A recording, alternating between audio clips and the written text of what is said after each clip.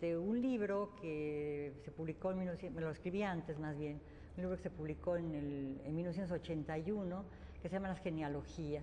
Yo soy de origen judío, de, mis padres vinieron de Rusia, de bueno, lo que era Rusia cuando ellos llegaron a México, lo que es ahora Ucrania.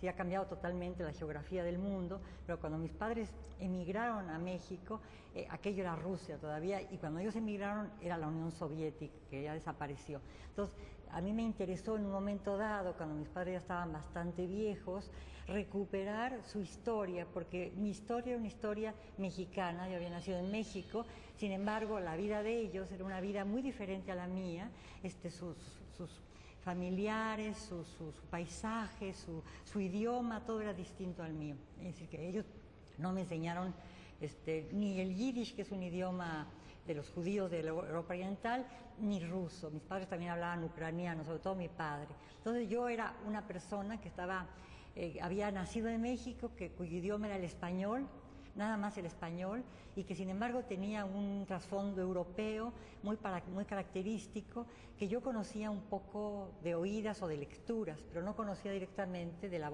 de la tradición oral que mis padres podían este, eh, enseñarme. Entonces empecé a hacer una serie de entrevistas de la historia de mis padres, desde que nacieron, dónde nacieron, entrevistas muy curiosas, porque mis padres llevaban muchos años de casados, vivieron 57 años juntos. Entonces cuando yo hice las entrevistas ya tenían como 56 años juntos, 55, 56, y la vida de ambos estaba muy entremezclada. Mi madre corrigía la vida de mi padre, mi padre corrigía la de mi madre, aunque se conocieron cuando tenían como 22 años. Entonces cada quien hablaba de la historia del otro como si fuera su propia historia. A mí me parecía sensacional eso. Luego poco a poco, de una manera bastante paulatina, me fui introduciendo en el texto yo, bueno, siempre estoy en el texto porque yo hago las entrevistas, pero al final acabo haciendo una especie de autobiografía.